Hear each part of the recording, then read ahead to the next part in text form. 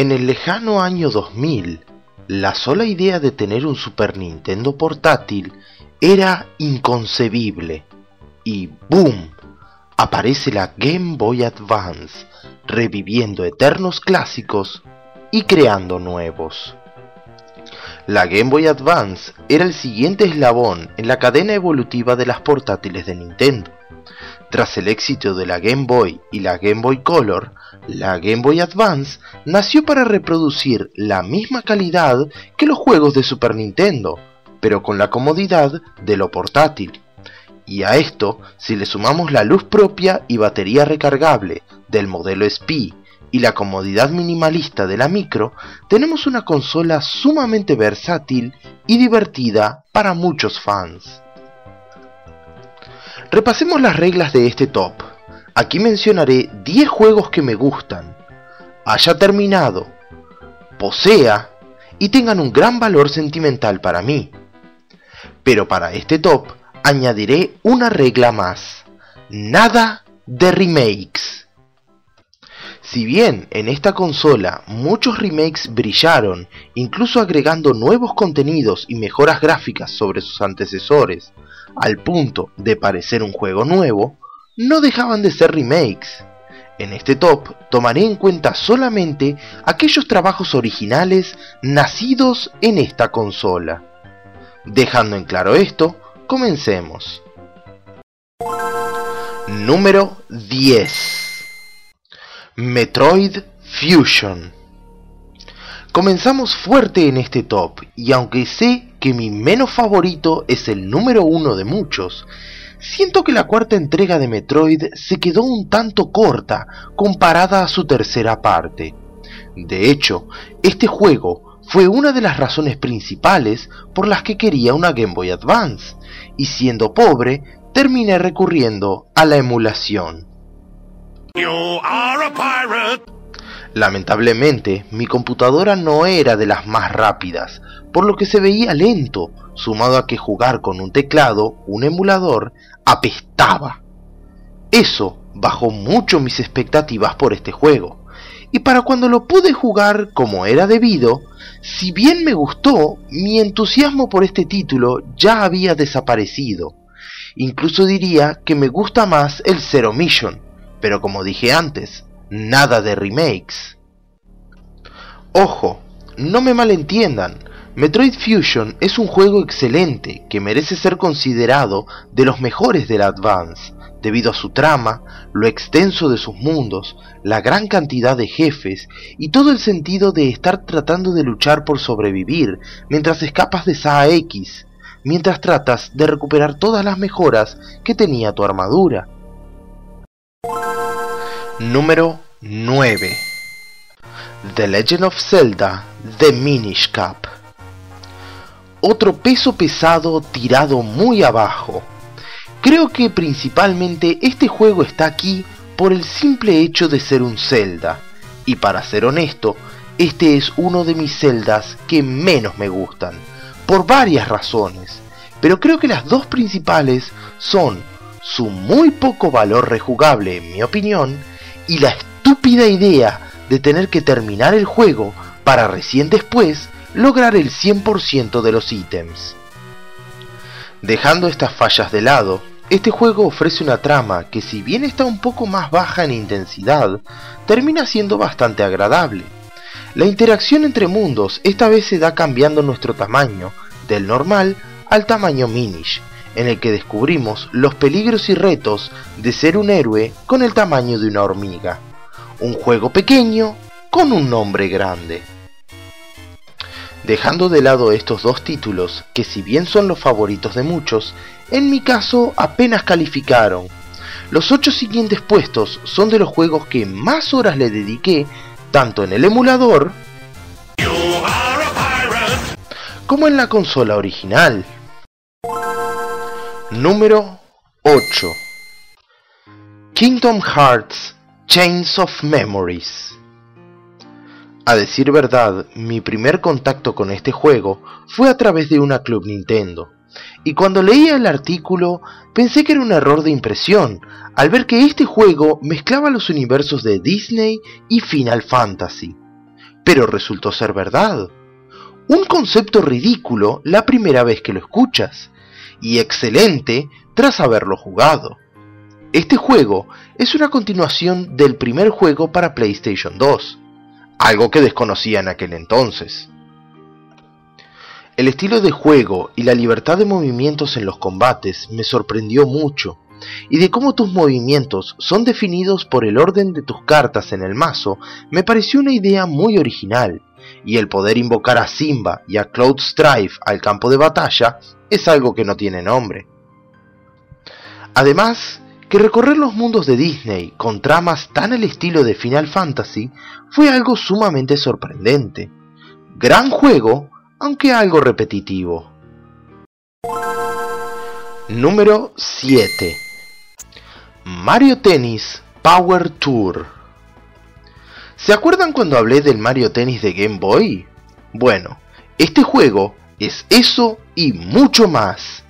El concepto de ser un estudiante en una academia de tenis que debe aprender ahora no solo a jugar, sino a adquirir los super tiros y el poder entrenarlos para poder hacerlos más poderosos, es algo que me pareció un concepto sumamente nuevo. Encima, después debes enfrentar a todos los tenistas para desbloquearlos y poder jugar con ellos. Eso me pareció algo estupendo, sin mencionar que este juego posee un estilo gráfico idéntico al Golden Sun, de parte del estudio Camelot, y encima de todo esto agregando compatibilidad con el Mario Tennis de GameCube. Esto hace que un juego sea excelente. Nunca jugar al tenis fue tan divertido. Número 6 Dragon Ball Z Boost Fury Seré honesto, los dos juegos anteriores me parecieron basura, y la saga de Buu es una de mis favoritas junto con la de Freezer. Habiendo aclarado esto, Boost Fury es un juego de RPG con toques de exploración estilo Zelda, que trata de reproducir de una manera bastante fiel esta saga de Dragon Ball Z, permitiéndonosla vivir prácticamente en carne propia, incluyendo también las películas. Debo admitir que este es un juego muy divertido, con mucho valor rejugable en mi opinión, y los pequeños secretos como las cajas Z con easter eggs de la serie, los recuerdos de Mr. Satan, además de muchas curiosidades que aparecen en el juego, lo hacen uno de los más fieles en cuanto a historia, y entre los tantos juegos de Dragon Ball Z que existen, una variante muy interesante tras tantos juegos de pelea. Número 5 Golden Sun Uff, ¿por dónde empiezo con esta joya? Sin contar Pokémon, creo que Golden Sun fue mi segundo RPG, y hasta el día de hoy Aún estoy maravillado por lo complejo y a su vez simple de este juego. Un RPG con una trama muy buena, gran cantidad de lugares, incluyendo pueblos y calabozos que visitar, técnicas e invocaciones sorprendentes, personajes entrañables, y me estoy quedando corto. Este juego demuestra en pleno sentido todo lo que es una aventura, cada lugar al que vas, sabes que tenés que recorrer y examinar absolutamente todo. Hay acertijos muy ingeniosos y que si no podés resolver en ese momento, debes volver más adelante en el juego para poderlo resolver. Un juego muy inteligente, con buenas mecánicas y que hacen que hasta levelear sea divertido. Uno de los juegos originales más recomendables de la Game Boy Advance. En mi opinión, recomiendo más el 1 por encima del 2 y el 3, porque aquí es donde creo que están los mejores personajes. Además, Félix me cae muy mal. Por cierto, voten por Isaac para el Smash. Número 4 Pokémon Rubí, Zafiro y Esmeralda. Otra de las razones por las que quería una Game Boy Advance otro de los juegos por el cual tenía el emulador. La tercera generación. En aquel entonces, para mí, cada Pokémon nuevo que veía en el juego era en verdad un Pokémon nuevo, ya que no tenía internet ni tenía cable en ese entonces. Así que se podría decir que fue una de las únicas versiones de Pokémon que jugué completamente sin spoilers. Quizá por eso estas versiones se quedaron grabadas en mi corazón. La aventura en verdad se sentía como una aventura, y sentía que podías hacer de todo, incluso sin avanzar en el juego. Cultivar vallas, las bases secretas, las revanchas con los entrenadores, las batallas dobles. El juego tenía de todo, y aunque en un principio me molestó la idea de que perdiera la retrocompatibilidad, más adelante lo vi como una chance para empezar de nuevo. Y junto con los remakes y las versiones de GameCube ayudaron bastante para eso. Pero creo que la mayor y mejor experiencia Pokémon en Advance se la llevan estas versiones. Número 3 Tactics Ogre The Knights of Lodis Sin duda, este juego hizo que amara el género RPG táctico. Y más al ser una aventura que podía hacer con mis amigos. Les explicaré. Antes, los personajes de los RPGs no tenían mucha personalidad y siempre podías ponerles nombres, y de cierto modo terminabas imaginando la aventura hecha contigo y tus amigos. Bueno, este juego no solo hace eso, sino que también podés tener a tus amigos y a los personajes del juego y hacerlos interactuar. Podías convertir a tus soldados en diferentes tipos de guerreros y hacerlos sumamente fuertes. Aunque tenga un aspecto infantil y caricaturesco, Tactics Ogre es uno de esos RPGs con tramas sumamente serias, y en muchas ocasiones el ritmo del juego depende de tus acciones, lo cual era algo muy bueno, y que no muchos juegos lo habían hecho en aquel entonces, y aquellos que sí lo hicieron hasta el día de hoy son recordados. Tactics Ogre lo considero como el RPG que vos creabas y con quienes vos querías que estén en el juego. Por eso está firmemente como uno de mis tres favoritos. Número 2 Metabots, Metavi y Rokusho. Irónicamente nunca vi la serie, pero amo estos juegos. En mi época de emulación, empecé a adentrarme en el mundo de los RPGs y conocí grandes títulos. Luego, me topo con este juego, sabiendo que estaba basado en una serie de anime. Así que decidí probarlo, ya que sus gráficos me agradaron. Su estilo de combate me pareció muy extraño en un principio, pero amaba las animaciones de batalla y el concepto de destruir el Medabot de tu oponente parte por parte hasta dejarlo hecho un esqueleto de metal.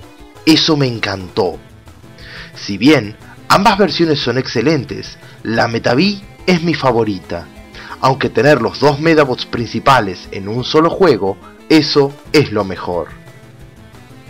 Sorpresivamente, la trama de este juego me enganchó muchísimo, y el largo que tenía este juego también me sorprendió, ya que recorres muchos lugares y cada episodio, por así decirlo, es sumamente extenso.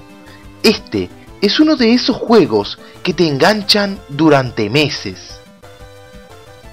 Son todas estas cosas y más la que lo convirtieron en el sólido número 2 de mi lista de favoritos. Y ahora solo queda un juego más.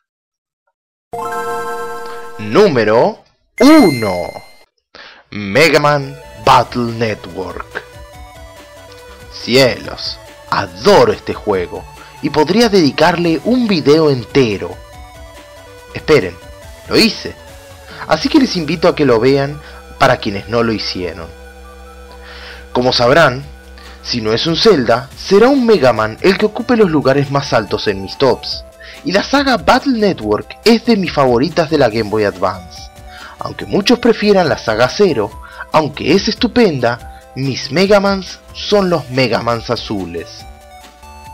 Este juego tiene un valor sentimental enorme para mí, y fue uno de los primeros juegos que me impactaron por su historia, con detalles sumamente maduros para un juego tildado de infantil.